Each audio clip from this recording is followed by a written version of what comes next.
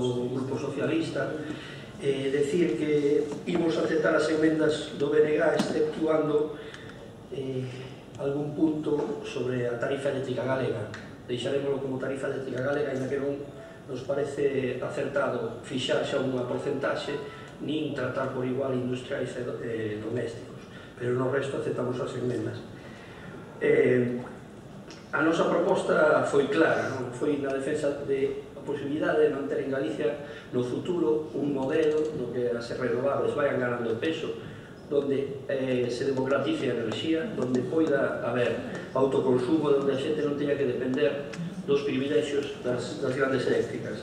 Na súa contestación, señor, señor Arias, se basea no que, na miña opinión, son unhas falsidades, que o déficit tarifario, que para nós non existe, ou por menos non é causado polas subvencións, as renovables, sino que está causado porque sempre, cando as grandes empresas poden ter o risco de ter perdas, se lle garantizan con este sistema, pero en cambio despois, cando hai posibilidade de ter beneficios, tamén se lle garantizan.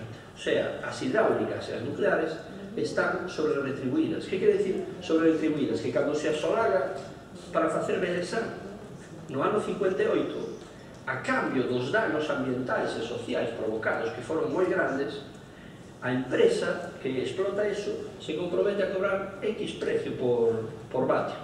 Claro, pero esas empresas, cando chega ao libre mercado, e unha vez xa amortizada e prorrogada a concesión daquela maneira, saberemos como, pois ahora sí que se lle permite ir á subasta do, do libre mercado, que non é tal libre mercado, e cobran 4 veces máis do que necesitarían para, eh, para ter beneficios, para, para cubrir costes.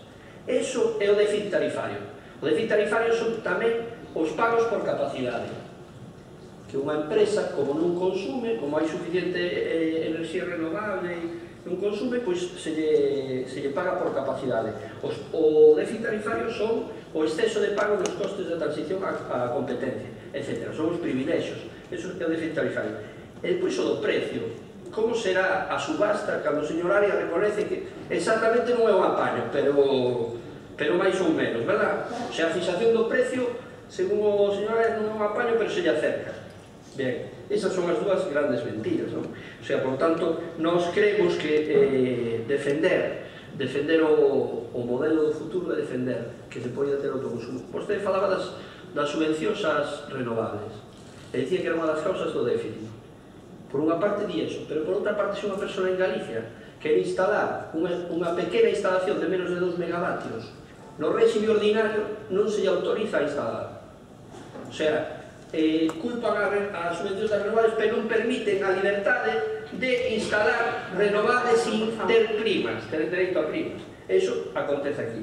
Por tanto, eh, nos creemos que, que non ten justificación. O, única, o único obstáculo que se nos pon a todos os cidadanos de ter enerxía máis barata e máis limpa son os intereses das, das grandes eléctricas. Nada máis. Moitas gracias.